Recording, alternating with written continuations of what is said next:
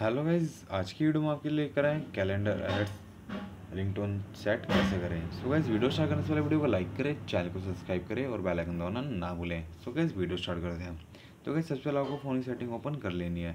Phone की setting open करने के बाद गाइज़ आपको वहाँ पे साउंड एंड वाइब्रेट का ऑप्शन आ रहा है, इस पर क्लिक करें। इस पर क्लिक करने के बाद आपको वहाँ पे देख सकते हैं कैलेंडर अलर्ट्स का ऑप्शन आ रहा है, इस पर क्लिक करें। इस पर क्लिक करने के बाद गाइज़ आप देख सकते हैं यहाँ पे रिंगटोन कोई सी भी सेट कर सकते हैं। तो कैसे मैंने यहाँ पे यहाँ पे देख सकते हैं मोशन की सेट हमारी ट्विंकल की हमने यहाँ पे सेट कर दी।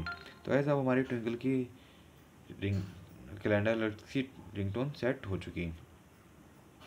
तो वैसे वीडियो अच्छी लगी तो वीडियो को लाइक करें चैनल को सब्सक्राइब करें और बेल आइकन दबाना ना भूलें। थैंक्स फॉर वॉचिंग वीडियो मिलते हैं नेक्स्ट वीडियो में। Tata bye bye